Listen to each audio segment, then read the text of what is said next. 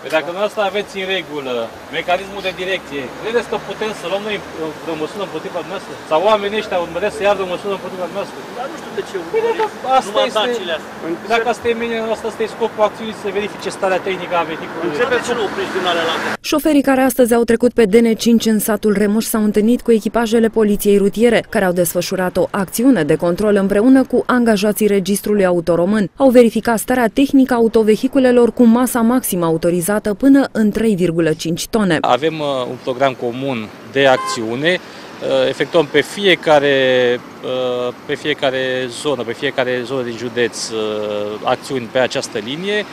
Urmărim starea tehnică a vehiculelor, au fost depistate vehicule și cu defecțiuni la mecanismul de direcție, sistemul de, de frânare unde au fost deținute permisele de conducere ale conducătorilor auto, certificatele de matriculare ale autovehiculelor și uh, aplicate sancțiuni în, uh, uh, în conformitate cu prevederile în vigoare. Cei de la RAR au verificat sistemul de frânare, mecanismul de direcție, noxele și dacă autovehiculele emit noxe peste limita admisă legală. Au fost oprite spre verificare 60 de autoturisme ce rulau pe DN5 din ambele sensuri de mers. La dâns și despre ce se vorba, ce ați constatat? defecțiuni la sistemul de evacuare a emisiilor poluante, precum și una dintre mașini are și o anvelopă uzată pe partea dreaptă față.